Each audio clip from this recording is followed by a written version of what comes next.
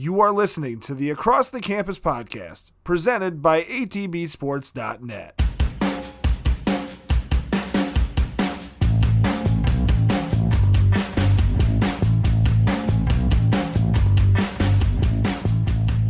All right, everybody, welcome back to Across the Campus, your college sports podcast, as well as the Mid American and Big Ten Conference podcast. I'm your host, Alex the Captain. As always, joining me today, AJ the Guru. What's going on, everybody? All right, AJ, welcome back to another fantastic week talking Big Ten shooty Yeah. hoops. Feels like MAC it's been a while since we've been on. It really does. I uh I was thinking about that earlier today. I'm like, I feel like it's been like two or three weeks, but we recorded last week, and We did. I uh lots lots has happened in the sports world since we last spoke, so I think that's It's- why the distance has felt so great. Yeah, it, it's weird because it feels like there's been a lot. In fact, there's been a lot, but there hasn't. Right. You know, it's just a lot of news that's really like irrelevant, but it's still it's happened. So Mm-hmm. yeah, it's still news, Yeah. which is uh, which is always good. yeah, Um, I mean, we can dive right in really quick. yeah. Uh, just talking about some Antonio Brown stuff really quick. Did you see he finally turned himself in? Yeah, I saw that. I was in the in the gym earlier and saw uh, the whole video and stuff like that on uh, on ESPN. There, they had him coming out of the courthouse. And I don't know if you saw that. He was like in his blue suit, Mm-hmm. or the sky like a sky blue suit, and then he had his GPS on his ankle and Yeah, stuff that was like that. pretty wild. The I- whole thing just kind of confuses me because he obviously, I mean, ever since he's been in the NFL, he's loved the attention, loves getting the attention. Mhm. So I feel like this has a part to do with it because nobody comes out of getting a ankle bracelet and in a powder blue suit. Like, No, absolutely People not. don't do that. No. And sure it's good for the headlines. Honestly, it's as a as a fan of sports in general, I'm pretty sad to see his fall from grace. hmm He he I mean, he dominated the 2010s as a wide receiver. Like he was arguably the best receiver of the 2010 decade. And then now we're sitting here looking at him like what what has happened? What could have happened? Yeah. and you know i really do hate seeing it because he was such a special talent but i Mac, Mac guy too. yep MAC guy he he had a lot of a lot of people really not for him coming out of central michigan but he really proved the doubters wrong And I want to I want to do a little more research into this sometime, but I feel like his college path is very similar to Kareem Hunt. They both, you know, because Kareem obviously with his talent, he could have played at any big time school. Mm-hmm. Same thing with Antonio Brown. But the reason Kareem Hunt ended up at Toledo was because he had issues in high school, disciplinary issues, nobody wanted to deal with that, so he ended up at Toledo and dominating the MAC. So I, I, haven't done much research into it. I don't know if you have or not, but if it's the same similar story to AB. Yeah, I see. I haven't done much research. Now, I, I obviously going to Toledo and whatnot. I followed Kareem's story a little bit closer than I would have in Antonio Brown Sure. or anybody else. But I feel like Kareem. So, a good friend of mine uh, named Graham, who you'll probably meet at some point. He actually was the guy who we need to talk about this as well. Won our college football bowl pick'em challenge. Okay. So, um, we'll we'll cover that in a minute. But he and I've talked about it. Coming out of high school, Kareem was only like a three star recruit. Um, and every year he was at Toledo, he worked on a different fundamental. So his rook or his freshman year, he came in, he worked on his, you know, up the gut running. His second year, he worked on his out route running. Uh, his third year, worked on his pass catching uh, and blocking. And then his fourth year, he just found a way to work it all together, which is why he looks so good in his last bowl game. I think his last bowl game, he had five rushing touchdowns um, which tied Barry Sanders for the college record, which I thought was really really cool. I think it was against um, Arkansas State, is what it was in Mobile for, and I forget which. I think it was the GoDaddy Bowl. I could be wrong on that, but Kareem was not highly recruited as a three star. Everybody said he was too slow, couldn't, didn't have great hands, um, would never be an NFL talent, and his that's all he heard his entire career at Toledo. You're not good enough. You're not, and so he took that to heart and really focused. And everything they said he couldn't do, he'd used an entire season to perfect. So I always really admired that with him and his play style, looking at what he's done as a player to try to improve himself. And then now, of course, now he's in trouble with the law. Don't know if you saw he got pulled over for speeding, Speeding, yeah. and then they found a bag of weed in his car. no, it wasn't a bag of weed. It was just like little grounded up pieces that were in the Okay. back seat. Yeah. Okay, okay. Yeah, I no. thought i'd read a bag if of weed. no, if it was a bag of weed, it would he would have uh, probably gotten written up for it. So, but he, he, he, all he did was get a uh, speeding citation. So, all right, I pulled up Antonio Brown here, his recruiting profile. Has top three schools of interest were Clemson, Illinois, Michigan State. Okay. But none of them offered him anything. Central was the only one to offer him something. That, that's according to Rivals.com. Interesting. Yeah. That's really interesting. Quite the And college career for him. and tw- and 24/7 Sports too. Same thing. I'm looking like right here is recruiting profile, class of 20 or 2006, college list one offer, Central Michigan. wow. Yeah, Wow. and they don't even have a picture of him. It's just his name and like a an A generic blank Yeah. grayscale thing. That's Yeah. hilarious. out of out of Miami. Yeah, Hmm. class of 06. And now look at him. Yeah, Well, now look at what he was. I should Yeah. say rather. I, you know, and everybody's out there making jokes on the internet about you know this, that, and the other. And at the beginning of the season, I was with that crowd of, all right, you're making yourself look like a clown, but he very clearly needs some real mental help. And I hope that whatever happens, he gets it Mhm. for his own sake. You know, like he'll probably not play in the NFL ever again, and that's fine. But I really hope that if it's CTE, whatever it is, I hope that he really gets the help he needs, and that he recognizes that he needs that help. You know? he'd look great in the XFL though. I think he would look fantastic if he Vince if, Mc- if he can get things right. You know? Vince McMahon would love that. Oh my He's the promotion goodness. business. He's a promoter. He'd love a character. he oh yeah it would it would absolutely draw money to the XFL, which that's going to be a fun league to keep an eye Mm-hmm. That starts what next week or the week Uh, after the Super Bowl? I think it's the week after the Super Bowl. Yeah, so two weeks, three weeks. So yeah, that'll be Yeah. That'll be really exciting to watch. yeah, absolutely. I'm excited about that. Um, I am gonna hop on over here to college football really quick since we're already talking about 2 Mhm. former MAC guys. Um, the East West game, the American National game, and the we have a North South game coming up. Mm-hmm. Um, Well, the, Shri- if- the Shriners game was last week. yeah, I was gonna say, did you watch any of these? Uh, I saw highlights. okay, I did not catch much of OU, it. OU's quarterback played a lot. Yes, yes, he did. Nathan Rourke. Rourke, He- yeah. Yeah, he he got some good touches. I didn't see much of it. I just, you know, I followed the Mac a little bit more. But I'm excited to see this the the one that's coming up this week. The, Yeah. um, well, you got the Reese's Senior Bowl, yeah, and then the East West.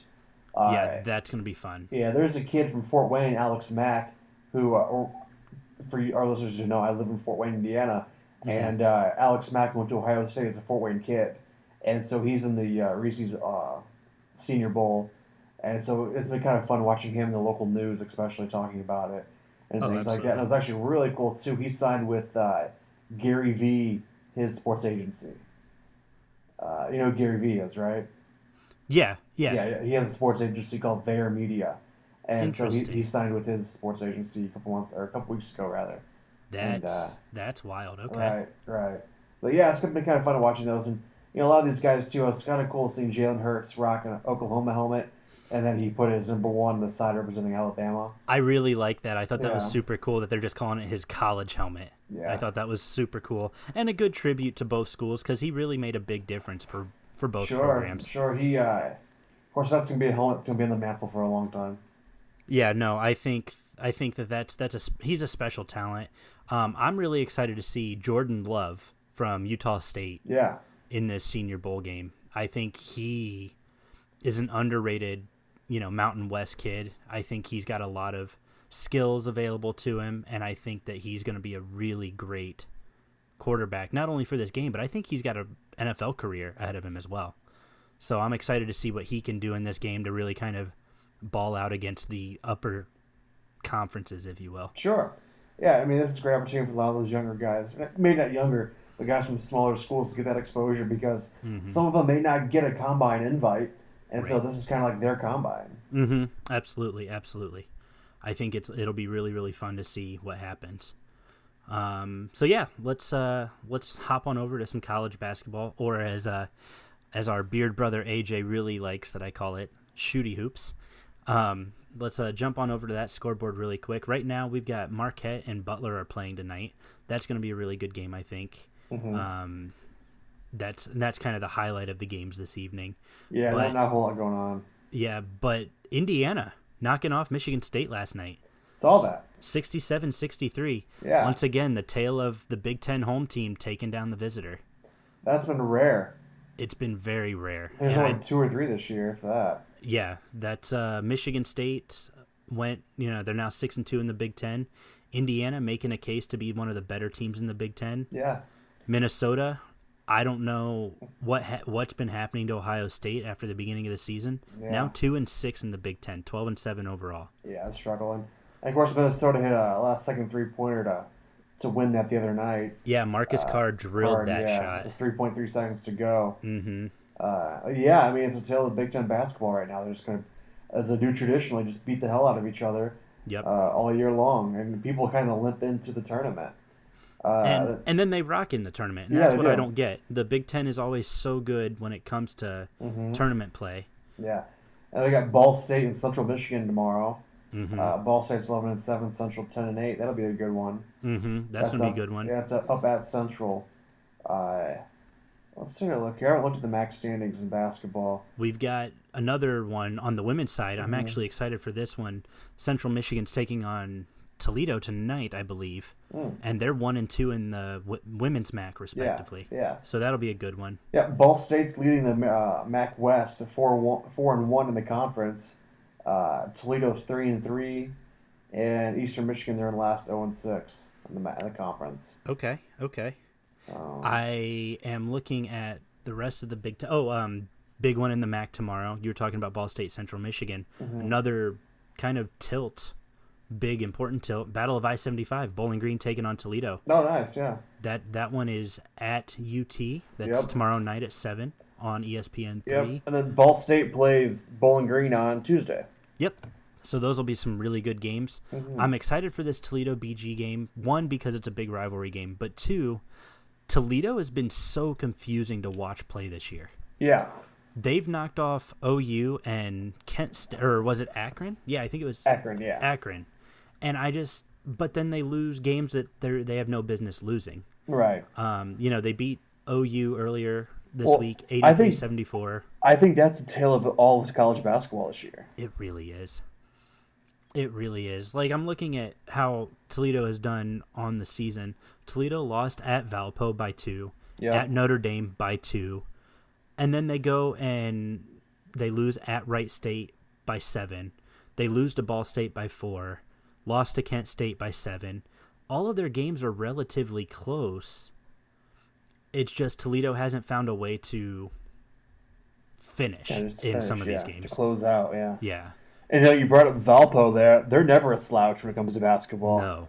Well, their coach, Drew Bryce, or Bryce Drew, he left a couple years ago. Yep. And he took over Vanderbilt.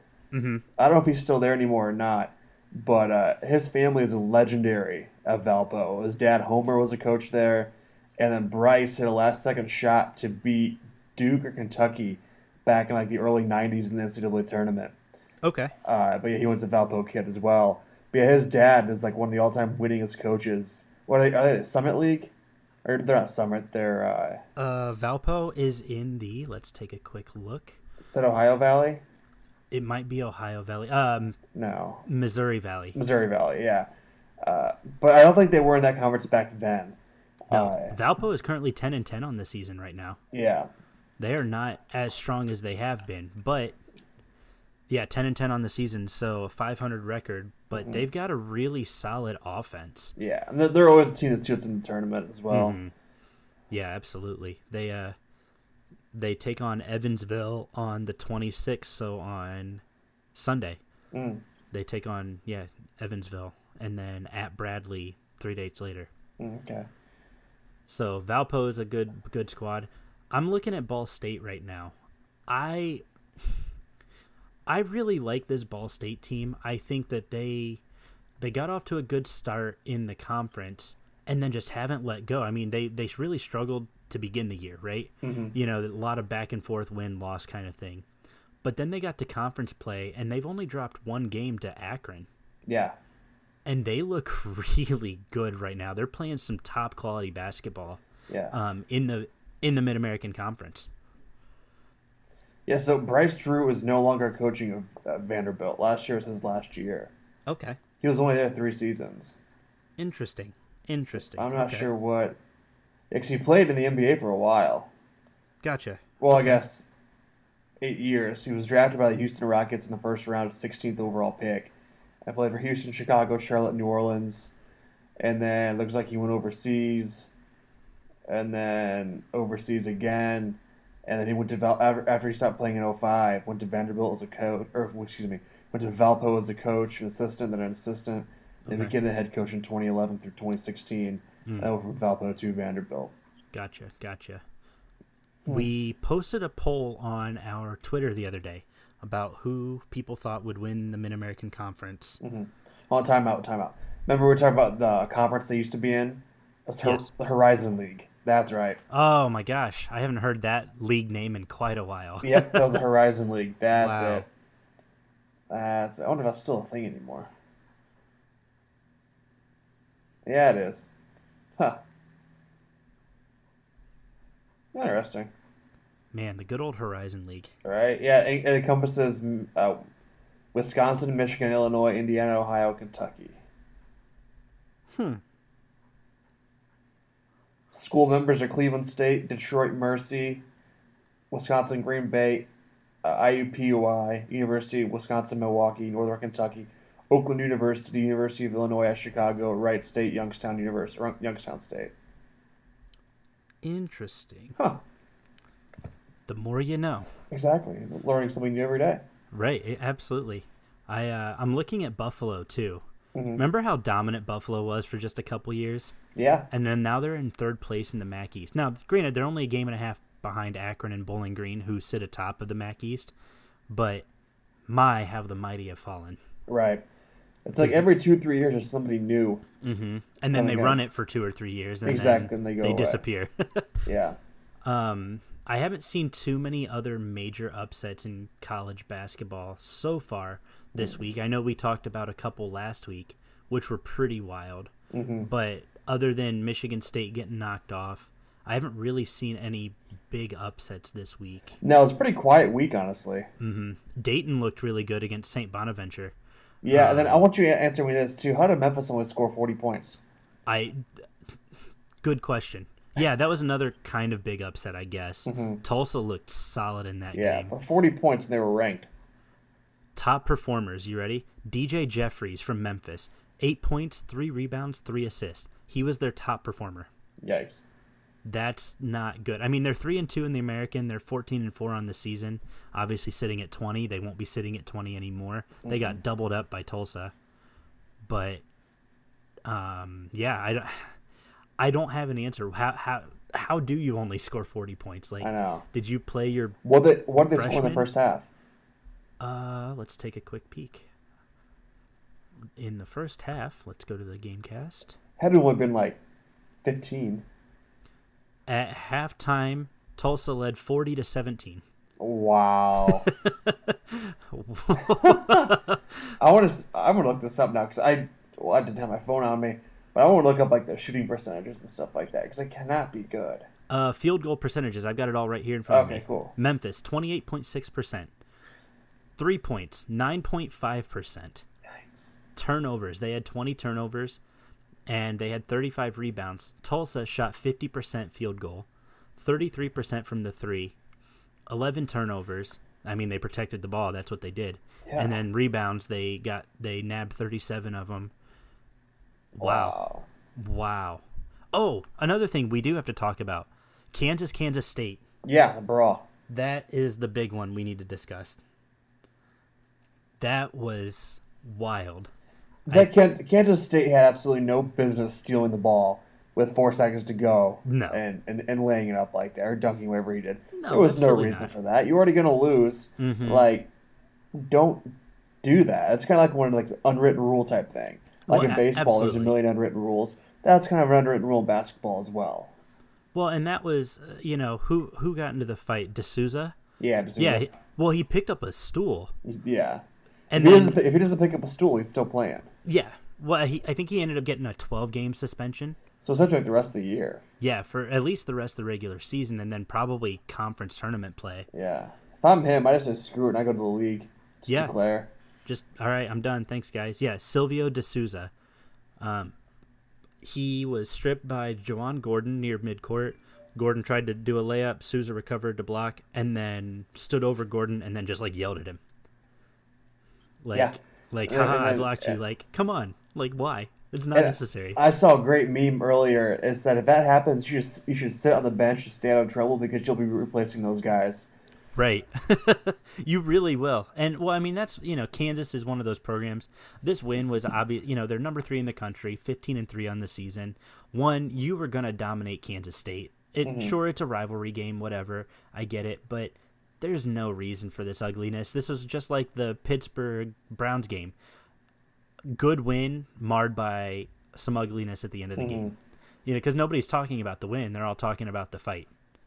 And you you just you got to be careful with that. Yeah. You can't you can't do that. Um Yeah, it at- was one of those things where I, don't- I, I don't know. It was, you know, I didn't see it till the following morning, and I go, I didn't know if it was like a replay of a something from the past or whatnot. I looked at it a little bit more, and then, you know, there's people in the band who were involved in the middle of it. There's fans, like, it was just kind of a brawl for all, really. Mhm. Yeah, and that that was again good win, good solid win for the program, marred by an ugly loss. Yeah, You can't you can't do that. You just really can't. that's been kind of the theme of things this year as well. Mhm. Good win are you know taken over or overshadowed by that some ugliness. Mm-hmm. Yeah. Well, you know the Browns one obviously being the big one this year, but you know this And- like it's just And then It's Odell not a Beckham good in the locker room after LSU, yeah and yeah. Just it's just all kinds of ridiculousness. right. Um, also, I did want to point out Rutgers. They are ranked for the first time in 40 years. It's wild. 40 years. And then the first game that they were as a ranked team, they lost. Right. So, and you know, speaking of Rutgers as well, on the other side of football, they're getting some some tr- good solid transfers. hmm Uh, Shaun Wade from Ohio State, he's going there because he, he was the MVP of the Rose Bowl last year, and he didn't play a lot this year in the new system and, and whatnot. But now that he played under Schiano on defense, and Schiano's the head coach or the head coach of Rutgers now, uh, he fits well in his system. But the kid who recru- or the coach who recruited Shaun Wade to Ohio State, Kerry Coombs, he left Ohio State for Tennessee with Mike Vrabel, eh, with the Titans, and then he just came back last week and took over as a DC for Ohio Okay. State. Okay. So Shaun Wade's dad is like, "You've got to be shitting me." He's on Twitter. Yeah. He's like, "This is unreal," because his son play or his son was recruited by this guy, and now he's transferred. He's gone, and now this coach is back, and he's like, "Well, you know, what's up with that?" yeah. And then I don't know if you saw either. Uh, going off on another tangent here, but the uh, Houston quarterback is transferring to Miami, and uh, that there's because Miami had two quarterbacks transfer in last year. Miami, Martell- Florida, right? Yeah, Miami, Florida. Yeah, Okay. they had Tate Martell and another kid. Mhm. Well, the kid who ended up starting this past year is now transferring out again. He transferred in first season. Now he's transferring out because this King kid from Houston is coming in, and he's solid. Yeah, that Jarren Williams is uh, Miami quarterback. Jarren Williams is reportedly reportedly entering the transfer protocol. And he was a starter last year. Interesting. That's So, wild.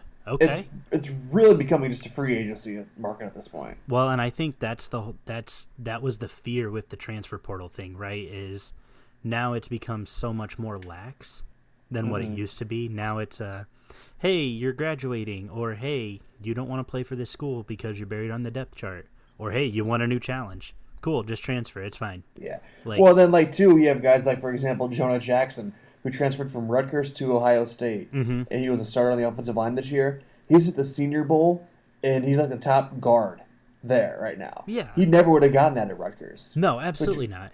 And now he transfers to Ohio State. I think it was a grad transfer. Uh, yeah, he, yeah, he was only there Yeah. year. And so he does that, and he becomes the, one of the top guards, and he could probably start in the NFL next year. Well, and He'll I think, a, and I know- think that's one of the things that concerns me. You know, back when college football was a lot younger, back in the '60s and '70s, it was one of those things where you couldn't.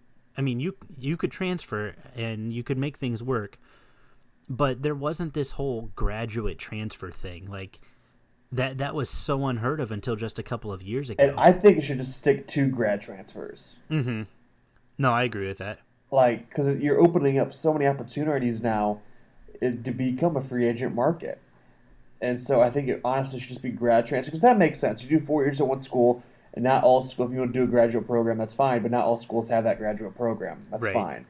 But if you want to stay at the school great no problem. But you also have like scholarships and you know it's another story for a different day. But yeah i think you should just stick to grad transfers only because it levels the playing field.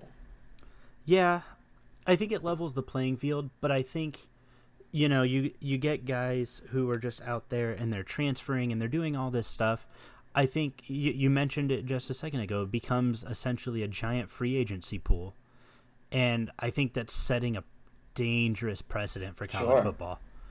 So I think you know the NCAA needs to maybe look at it a little bit, but I think the NCAA is dealing with a lot of other stuff now that this is probably not the focus of right what they're dealing with. yeah they've, they've yeah they've got their hands in too many cookie jars right now they really do. Didn't know there were that many cookie jars available. I did want to talk about Baylor really quick. Um, yeah they're number one in the country right now. Yeah, it's wild. 16 and 1, 6 and 0 in the Big 12, and they've knocked off one, two, three, four, five. They've knocked off five ranked opponents. Most recently, number three Kansas at Kansas by double digits. Jeez. Like that's that's wild. Yeah. You know and they you know, a couple years ago, when you talk about number one Baylor, it was their women's team. Yeah, and they're still a solid program. They're still killing it. But I'm just Griner. oh man that that team was so good. They didn't lose a game, did they? I don't think they did. That was what three years ago, something like Oh. that. Four years feel, I ago. feel like yeah, at least four. Yeah, no, they they were really really good. Um, and I just for me, it's just one of those things. I watch it and I'm like, how? Oh, Mm-hmm. uh, speaking of women basketball, Purdue Fort Wayne Mhm. is getting absolutely rocked by South Dakota, fifty-eight to thirteen right now in the third quarter. Yikes. So Purdue scored ten points the in the first half. the, the Jackrabbits versus the Mastodons. Yep. Yeah, they uh they scored ten points in the first two quarters. Oh boy. Yeah, and South Dakota scored fifty-two in the first two. That's kind of an odd because they're in the same conference, the Summit Conference. or Summit, yep. Summit League. Mhm. That's a weird. Geographically, that makes no sense. 'Cause you Yeah, it's just so spread IPFW apart. Yeah, IPFW can't afford to fly out there. Like, coaches, staff, players. That's a lot of money. It's not a big school either. There's a small campus on the north side of town. hmm So I don't know. Well, They bus out there. They drive. I don't know how they do. I have to ask. But geographically, it makes no sense. No, it makes zero sense. I mean, the summit. You you look at the the distance of the summit conference. You've got South Dakota, South Dakota State, Western Illinois, Oral Roberts, Denver, Yep. Omaha, and then like so all these guys are more like the Great Plains kind of teams, and then you've got a Great Lakes team in Purdue, Yep. Purdue Fort Wayne. Like And it, and it used to be IPF or yeah IPFW Indiana University Purdue University Fort Wayne. yep, Uh, this year they changed, I, or Purdue must have bought it all out because they have their men's basketball team is, is historically good. hmm They beat IU two years in a row, once down in Bloomington and once here in Fort Wayne, maybe two years ago. yeah, they were super solid. I remember that being all over the Yeah, um, ESPN and everything. That was that was pretty Mm-hmm. wild. yeah, they play their games here at the Coliseum. Okay. Yep. Oh, the good old Fort Wayne Coliseum. I haven't been there in years. I think the last time I was there, I was there for a concert of some kind, Mm. Yeah, we were there last weekend. and that was that's where the hockey team play. The Yep. Comets play, right? Yep, the Comets play there, the Mad Ants play there, IPFW plays there, Okay. and then Indiana Tech I think plays there too. Okay. Okay. Very cool. Very cool. Um, I don't know. Do we? I think we want to move into maybe some bracketology if you want, or well, actually, one we- thing too, talking about college football. Go for uh, it. Ed Orgeron signed an extension today. seven years, right? Yeah, seven years, forty million, I think. That's so much money, so many Mm. years, but he earned it. I think Yeah. he, you know, they what signed him what mid-season last year, I think it was, yeah. and then he delivers a national championship Because he was year. an interim coach. Yep. They That's weren't even going to hire him full on until the season was over. Yeah, it was Les Miles, right? Yep. Because they fired Les Miles, right? Yeah. Yeah. Oh, that was like a mutual thing. Yeah, he, they they agreed to part ways, hmm as they as they say. The technical term. Yeah, but yeah, so yeah, he took over for Les Miles, and it was it was cool to kind of see the team really come out and fight this Mhm. remaining part of that season. And if you look back to on his journey, he's had a wild coaching career. Mm-hmm. One of the more wild ones I can remember. Because I mean, he obviously was an Ole Miss head coach at Ole Miss. Yep. And you know, remember the movie The Blind Side? He was the head coach at Ole Miss during that whole era. Yep. Then he goes to USC, becomes the interim or becomes an OC or offensive coordinator out there, becomes an OC. Thought he was gonna get the head job, didn't get the head job. Then he came to LSU as an OC. Then didn't think he was gonna get the job. Then he got the job. And then oh, where else has he been? He's been in a few different places, and he's he's been all over the globe. It seems like. Mm-hmm. But I can't. It's like his voice and his stature just doesn't fit a Southern California USC program. Yeah, He's a. Louisiana guy through and through. He's born 100%. born and raised in Louisiana. Born and raised in Louisiana, went Yeah, to went to- Michigan. No, he didn't go to Michigan. Oh no, I'm still thinking Les Miles. That's Sorry. Miles, yeah. Yeah. Um. He went to some like small Louisiana school. Yeah. But yeah, he's he's completely Louisiana through and through. Yeah, He looks like he eats a lot of gumbo. yeah, he does. there was a story I was listening to on a podcast one time. He was talking about Joey Burrow, Okay. and uh, they went to a restaurant, and I can't remember if it was. It had to have been down in New Orleans or somewhere in that area. They went to a restaurant. They, they didn't have any crawdaddies, and so uh, Coach O was talking to Joey about it. He was like, "I'm sorry, without you." Know, Joe was like, "Oh, that's fine. You know, I wanted some, no big deal." Orgeron gets on the phone, calls his crawdaddy guy, and the guy brings in a bag full of crawdaddies to the kitchen, and they cook them up and bring them out to the table. He would Coach O would have a crawdaddy guy. He would have a crawdaddy guy, yeah. Wow. Wow. That's that's fantastic. That's absolutely fantastic. Uh, I love Coach I really do. I really I wish him all the success down there. Sure. I you know, I'd be fine if the SEC didn't win a few national championships for a few years, but I really like Coach O. Yeah, he's he's a good guy. Um, He's a, he's a football guy. Oh, 100%. 100%. Um, I guess let's let's dive into the mailbag real quick. Uh, we Mhm. got a couple questions here for us. Um, we can kind of stick to the college football side really quick. Yeah. Of the four teams who made the college football playoffs this year, which of the four has the best chance of returning to the postseason? The best chance. Mm-hmm. I think I'm it's a- Clemson and Ohio State personally. I I was gonna say Clemson and Ohio State because as the quarterbacks are both back. Mhm. Uh, I'd give Clemson the advantage though because Etienne's coming back as well, Yep. and we have uh, Master Teague, who was a, he's a heck of a running back, but he's never started. Right. Or has he started? No, he hasn't started.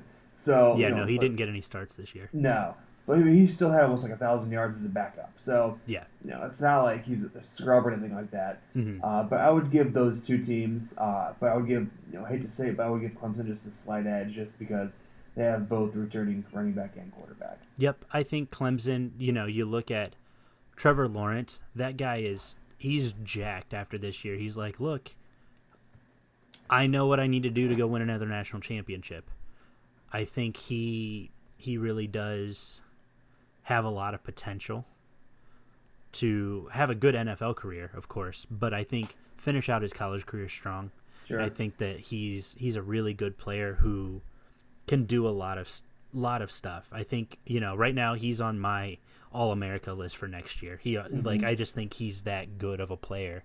He just doesn't have the help that that a um, Ju- uh, Justin Fields has, or that a Joey Burrow had. You know things like that. So I think he has to do more of it himself. But that shows what kind of player he is. That he's not going to give up, and I and I respect that. I really do. I do think Ohio State has a really good shot at returning. They are super good at reloading. Ohio State doesn't drop off, and they haven't in almost two decades. They just reload, and I think that's really cool to see. if you're if you're a Buckeye fan, if you're a Big Ten fan in general, you know it sucks having one team dominate the conference, but then there's that challenge to try to beat that team who's always dominating the conference. Right. So I think that's cool to see. Um, yeah, I don't know. I those are my two favorites. If I had to pick a team who I think could make the postseason tournament this year, just based off of nothing, I think Baylor. Yeah, I think Baylor Baylor could take the Big Twelve and they took because one of LSU's Joe or no, which LSU coach went over there? um oh what's the passing name? game coordinator, wasn't it? Yeah. Uh, let me see if I can pull it up really quick. It is Baylor, Baylor, Baylor. Teams.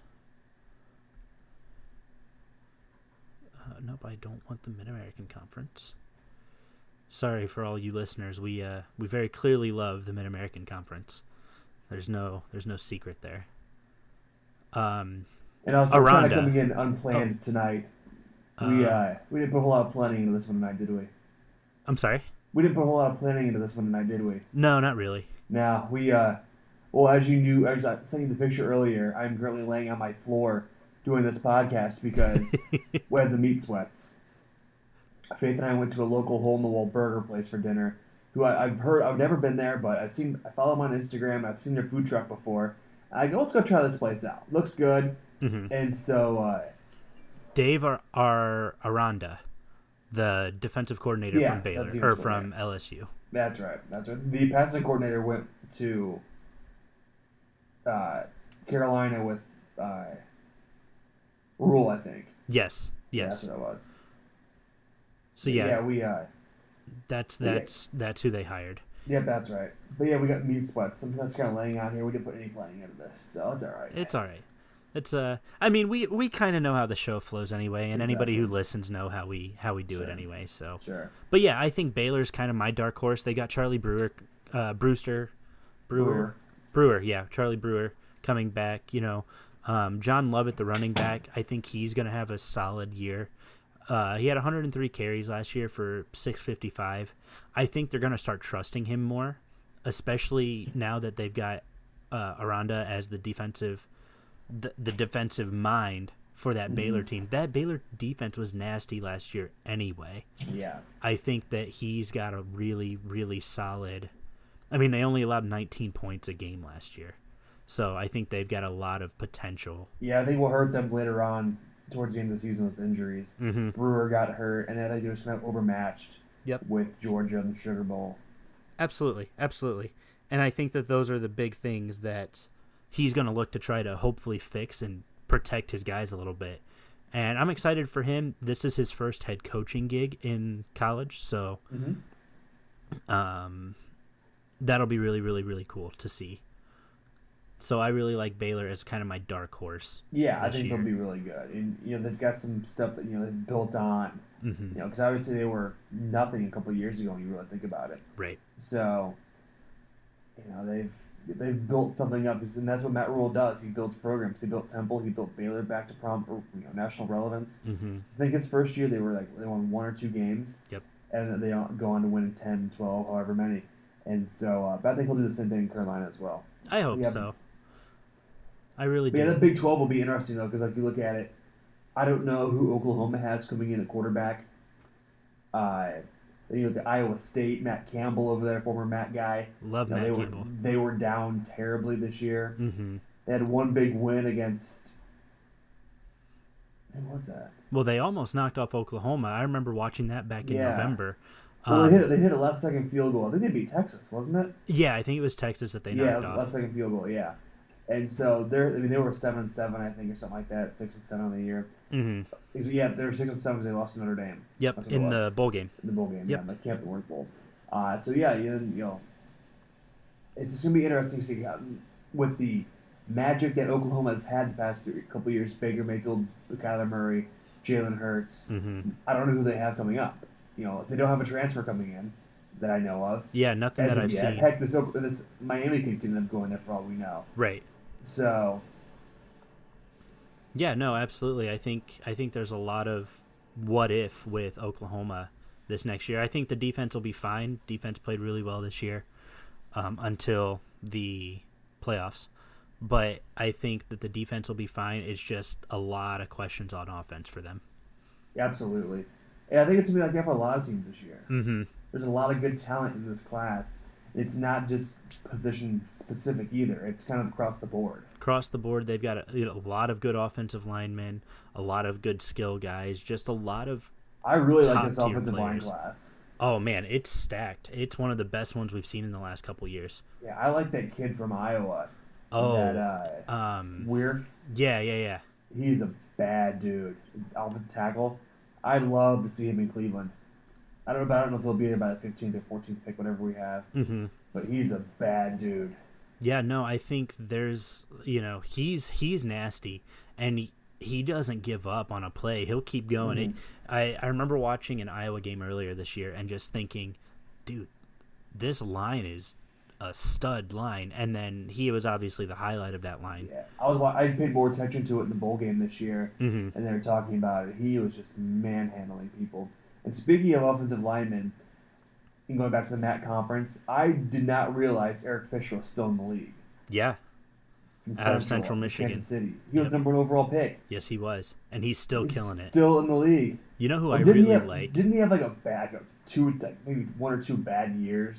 Maybe I think his his rookie year was a little rough, but after Yeah. that, um, he really Yeah, he- hasn't had a bad Yeah. season. The one that I'm really kind of keeping my eye on though is Andrew Thomas out of Georgia. Yep. I like him. He's only a junior, and he's gonna. It looks like he, right now he's projected as the number one offensive lineman, but he's he's nasty. hmm He's really nasty. Yeah. Um, yeah. I'm looking at Eric Fisher right now. He was that was 2013 class. mhm. Man, it Yeah. feels like forever ago. Yeah, it feels like it was a hundred years ago. Uh, but I remember watching that happen and everybody Yeah. in the MAC freaking out, like, "We got a first overall pick!" Like, and Yeah. he's lived up to it. You know. Yeah, yeah. He's a big boy. Mm-hmm. He's uh, six seven three oh six. Yep. Yeah, I really like it. I really Yeah. like him. He's a solid player for sure. Um, yeah. But this NFL draft, like you said, is going to be pretty, pretty crazy with a lot of skill player and positional player and then linemen as well. Like it's it's a really stacked draft class. It really is, and it'll be fun to pay attention in the next couple of months Mm-hmm. uh, when it comes out to uh, mock drafts and, and things like that. Because they'll be mock, or excuse me, mock drafts will be coming out here in the next couple of weeks. Yep, I'm uh, I'm going to be looking at a bunch of those myself. Uh, one for fantasy football purposes, but two just so that we have more stuff to kind of talk about and see where rankings are, make our own kind of thing, whatnot. Yeah, exactly. Um, next mailbag question though, let's uh, let's flip the switch over to some college basketball. Which conference looks to be the top conference so far? It's hard to tell because nobody's consistent. Nobody's been consistent. This has been the Nobody year of inconsistency. More so, I think, than it has been in other years. Yeah, and you know we can either say the teams are consistently bad or they're inconsistent. You know, you Mhm. can go both ways. But there's not one team that really, or one conference that I think that really stands out because once you say that, they go down. Mm-hmm. It's just kind of been the trend this year. You don't want to be a top five, top eight ranked team Absolutely because you're going to go down. Just bound to happen. Mm-hmm. So I'm pulling up. Uh, let's see here. Put the top 25. I mean, right now, you look at the ACC, you've got Louisville, Florida State, and Duke all in the top Mhm. eight. Yeah. I think that's that's pretty telling. But then you scroll down to the Big 12. They've got Baylor, Kansas in the top five, and then West Virginia at number 14. Then you got Dayton sitting there at seven and 17 and two on the year. Yeah. So like Villanova, they've gotten bad losses this year, but they're sitting there ranked nine. Illinois, they're ranked at uh, 21st. Well, I'm looking at the Big Ten right now. There are five ranked teams in the top Yeah. 25 for the Big Ten. And then West Virginia, Huggy Bear over there, they're ranked 14 Mm-hmm. uh, at 15 and three on the year. Yep. So really, you know, Houston even they're ranked. They're up there now. Michigan State, San Diego State, they're fourth, 20 and Mhm. 0. Yeah. Like, and It's then Oregon in there at 12.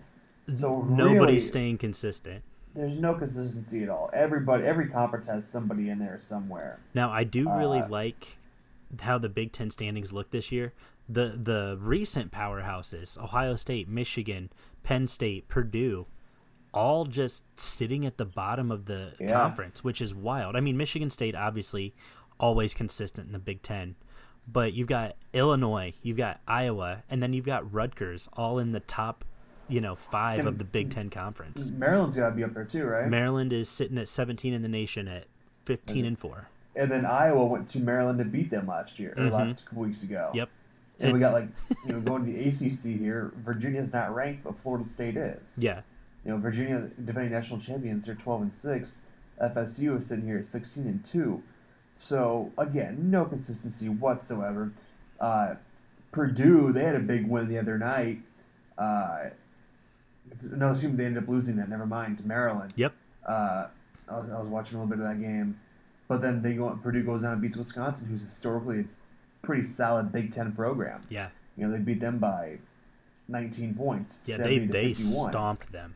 So, really, to answer that question, there really it's hard to say. Just the simple fact there is no consistency at all. hmm Um, I think that's a question that'll be really, really well answered like the first round of the tournament, right after conference tournaments are done. hmm I think that's kind of when the tell the tall tale will come out, and we'll be able to answer a little bit, little bit better. Because again, there's just no consistency. It's I- so bad. Every time I turn on ESPN on the, in the mornings, some top team went down. Yeah. It's- Oh, it's well, and I think for. I think for me that's that's the big part of it, right? Is a lot of the top teams, like you mentioned, keep falling. You know, it just Mhm. seems like every every single day. Oh, and another top ten team falls, whatever. But I think if if if I had to throw a dart at a board, I'd be aiming for the ACC and the Big Ten just for ranking consistency. Yeah. I think those are based off of ranking consistency. Those are the best two conferences. I feel like the the ACC has a better top tier talent, but I feel like the Big Ten is a little bit more even across, you know, top to bottom. Right. Right. But I mean, you look at the ACC right now, a team that I did not think would be this terrible, North Carolina, Yeah, they're struggling. eight and ten right now, one and six in conference play. Yeah, they. Uh, wow. They just lost to. Who was it the other night? Well, they're on a five game losing streak right now. Yeah, five games. Yeah. They just lost to Virginia Tech by two. Virginia Tech. That's what it was. Yep. Yep. So I yeah. I have no idea, and obviously San Diego State. They're sitting here at twenty and zero. hmm I haven't I haven't heard of San Diego State in years. No, So absolutely not. yeah, all, the only thing I know now about him is that what's his face Brady Hoke's back there coaching football. That's literally all I know. Yeah, And they play at Qualcomm Stadium. Like yeah. I mean, hey, you know, good for Brady Hoke getting back into that gig, Sure. right? going back to his roots. Going back to his roots, indeed. Well, didn't yeah? He started at San Diego State and then Ball State, right? Yep. Okay. Um. All right. Uh, I guess we could kind of talk about this following college basketball. Which team looks to be underrated so far? I think I would say Dayton, but they're ranked in the excuse me, they're ranked in the top ten. Yeah. I think the one that kind of surprised me is Florida State. Okay. I think, you know, they're sitting up here ranked. Oh, I just had it. Where did I put that at? Yeah, they're sitting here ranked at five at 16 and 2. Mm-hmm. The ACC, a known basketball conference.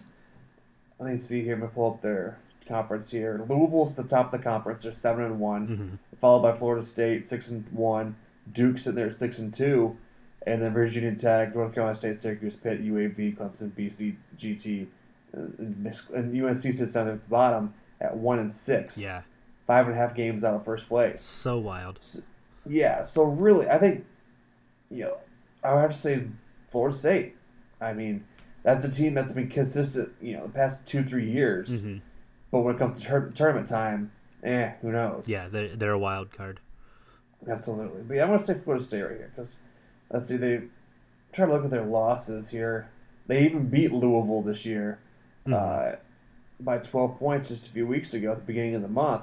But the first beginning of the year, they lost to Pitt 63 61. Mhm. Uh, they beat Florida. Let's see here. They beat Florida, or excuse me, they beat Purdue in overtime. Yep. I, I vaguely remember that one. And then they lost to Indiana, 80 to 64. Hmm. And that's their only two losses. Huh. So, but But, but they haven't really blown anybody out, really. I mean, they, most of their games are within 10, 15 points. Sure. Uh, here's a 12, 12, 13.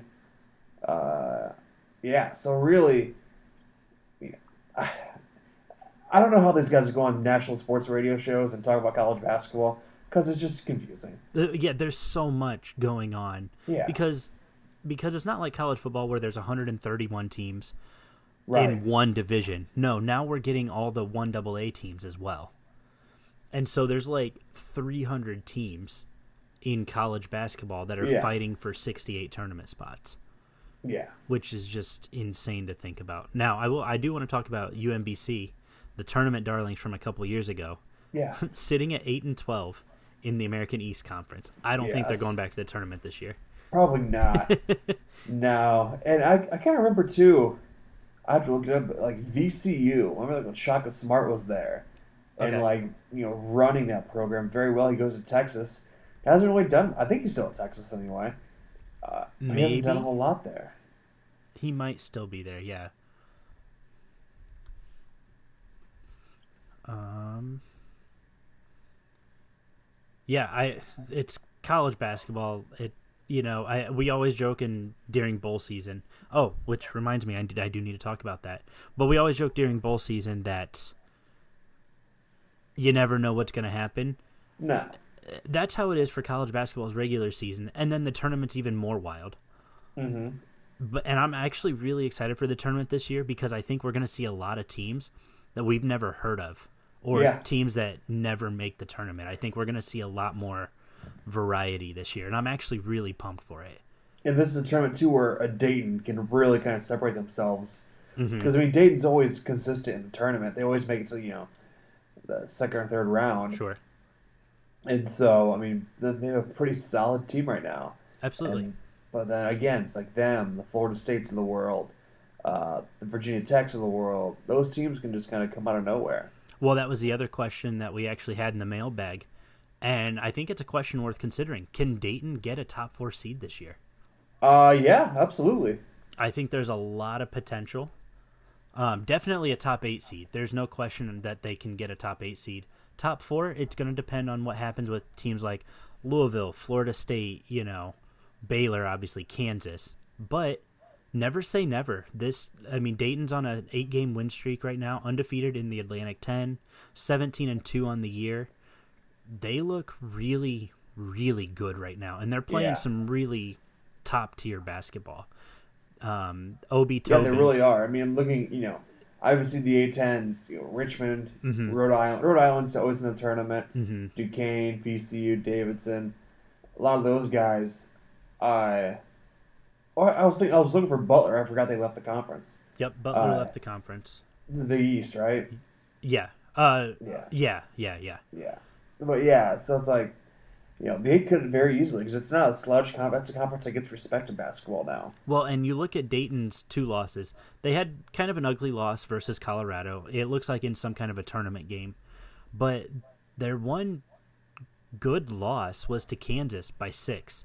Yeah, That's impressive. I you know, sure it's Kansas. You obviously you want to beat them as a statement win.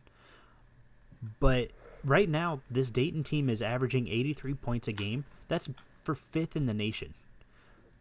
right. That's not bad at all. They're allowing 65 a game, so that's almost a 20 point difference sure. between their scoring and their defense. And you know, sure they they play in the A10. I mean, you just mentioned it. Great basketball conference, very well respected. You know, because you always you always put like the Richmonds and the Rhode Islands in at least the second round.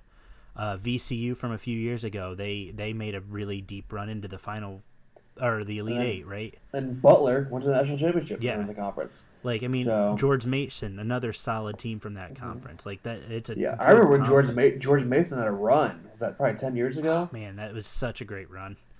Um, let's look it up That- real quick. God, that has to be ten years ago, at least. Because I was, I graduated high school in eleven, and I think that was my sophomore year, maybe sophomore junior year. Um, they the 2006 NCAA tournament. It was their Final Four appearance. Uh huh. They, you want to hear who they knocked off on the way to that? Sure. George Mason, the basketball team known for its 2006 NCAA Final Four appearance, where they beat North Carolina, Connecticut, Michigan State, and Wichita State. They lost to eventual champion Florida in the Final Four. Wow. Dave yeah, that Paulson was, was, that was the fourth year coach. Ohio State. Yep. Yeah. Wow. Yeah. Wow. that that was a good team. They went 15 and 3 in the CAA at the time, the Colonial Athletic Conference. Yeah. Oh, spin zone. Have you seen the new Butler Blue No. dog? Uh-uh. Oh my gosh. Okay. They just introduced him. He's the, he's the uh, Butler Blue in training. Oh They introduced him to the crowd today during the game. That's awesome. I'll send you the uh, the tweet. Okay, cool, cool. This is a little puppy. That's awesome. No, I'm excited to see it. Um, but I do want to jump back. I know I'm switching gears back to college football for a quick second. But I did want to update people on our tournament, our uh, bracket tournament thing that we did. We have two winners technically. Um, uh, two friends of mine actually. Graham Giles was the overall first place winner because he he actually had a tie breaking score for the national championship game. So uh, Graham Giles and then another friend of mine out of Texas, Ryan Bowers. They both finished uh, with 28 tournament points. So congrats to both of them. We will be sending both of them an across the campus T-shirt Okay. for their efforts and congratulating them. And I'm excited to do this again for the March Madness. I think Sure. we're going to do something really big for that. Um, we'll uh, make sure you guys, as listeners, obviously get the chance to jump in on that, but we're going to do something really cool for that, I think. Yeah. All right. Going back to Butler Blue real quick. Yes. Maybe we're gonna do a, we're gonna do a podcast here sometime soon. Okay. We're gonna do a Mount Rushmore of top living mascots, like real animal mascots. Okay. We'll do a Mount Rushmore of those. Yeah, let's- Because there's let's so many cool on ones. Well, yeah, I mean, there's so many good ones. You know, obviously Texas, you got Georgia, but then there's all these other. You know, I mean, you just mentioned it, Butler. Um, and- Blue three. yeah, like there's just so many great mascots out there. Yeah. Um, I would love to do non. I'd love to do a a bracket of non-animal mascots.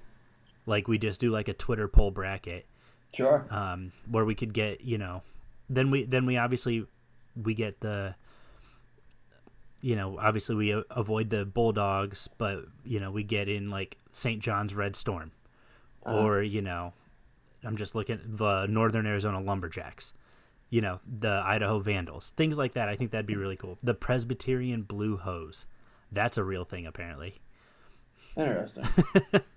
so yeah never heard of such a thing. All right. So I know we're we're kind of coming down to the end of the show here. This week is uh, we have our new segment of our MAC trivia. Yeah. AJ, it is your turn to answer. All right, let's do it. All right. So there have been three Mid American Conference football teams that have had ten or more conference championships, ten or more, and ten or more bowl appearances. So they've done both.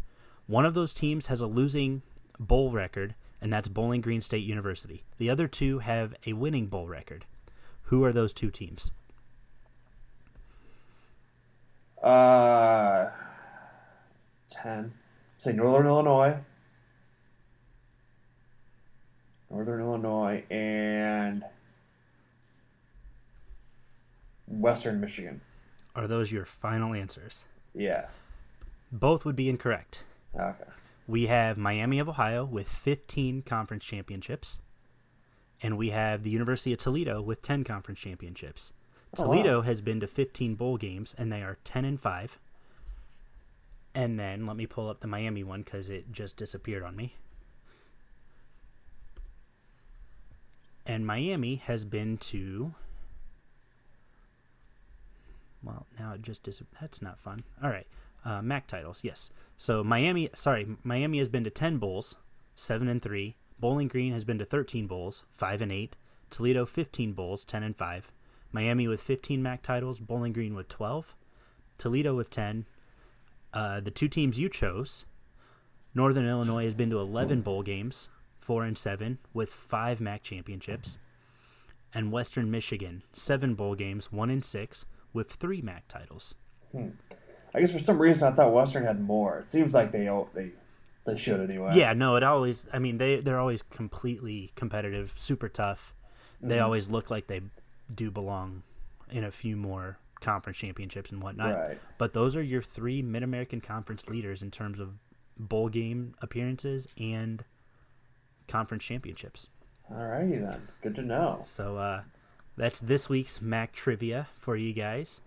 Um, AJ, I think that's going to do it for us. I do actually want to propose something to you. A buddy of Yeah. mine wants to do a podcast of the top plays from the last decade. I know we're a little behind on that, Yeah. but he wants to come on and kind of debate some of those plays with us, and I think I'd like to have him on. So sure, we can figure that out. Cool. So, all right, guys. I think, like I said, that's going to do it for us. Thank you so much for tuning in.